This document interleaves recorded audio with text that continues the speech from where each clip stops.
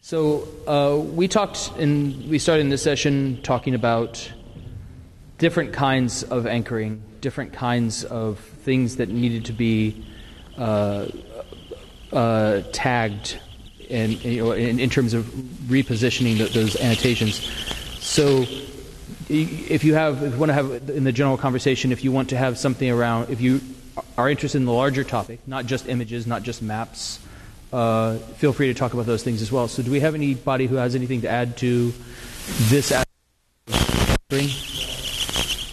Oh, besides Yvonne. Besides Yvonne.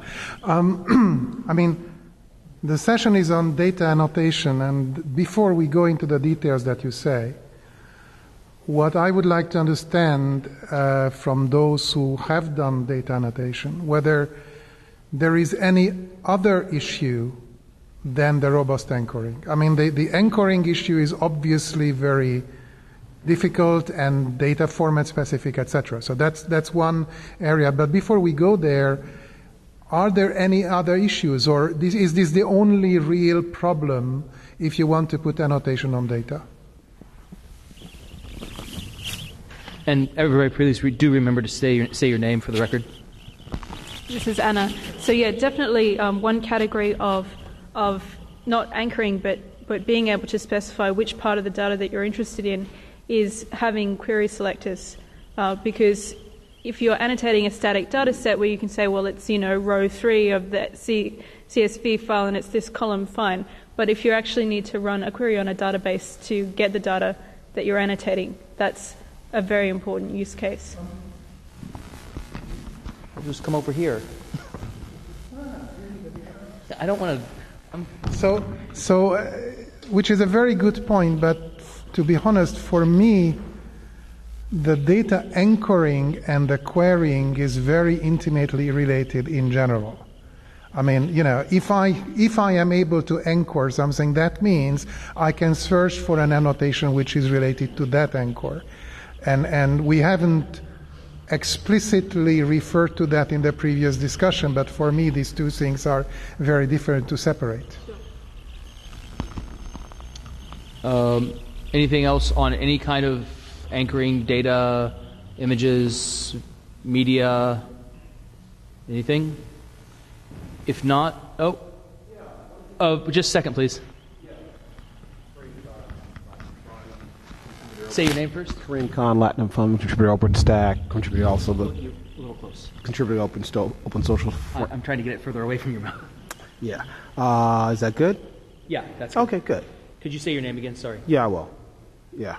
Uh, Kareem Khan, contributor OpenStack, the Open Social Framework, other things, ex-Cisco guy and big data guy. One of the problems with that you guys have to get to, or you need to get to with annotations, is kind of where we had to get to with semantic data for search. Uh, if you look at the actual standard that's used, Good Relations, um, schema.org, is we need a structure that data should be formatted in that people actually use internally and externally. That's kind of the problem.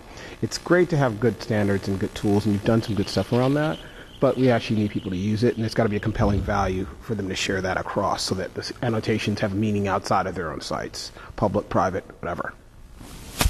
Thanks. Any other one thing that's come up, this Tim again, one thing that's come up um, in some of the discussions has been the fact that people rarely are at kind of the raw data. So if you think of what is gathered by a sensor, it, it may be millivolts, which then are translated into a temperature. What the user is often looking at is Fahrenheit, for example, but what he's trying to annotate, what persists, what's behind that is data that's different, and you have to make sure the annotation makes sense for that that underlying data format. This is a little bit like the discussion we had earlier about across formats and so on, but I think it's going to be more of a problem with regard to data because it's so rarely shown in kind of its rawest form. I think that's really some. I, I remember there was a conversation um, on some thread, perhaps on the Open Annotation group, and they were talking about you may wish to call into question somebody's uh, interpretation of data, interpretation of results. Maybe, maybe they might, maybe the annotation they want to leave is you're interpreting this as Fahrenheit or Celsius or whatever, but actually this is a known issue. This is a known bug with the sensor that it. So that at that level, what at what level should we be able should be able to get at the raw data? That's a really great point.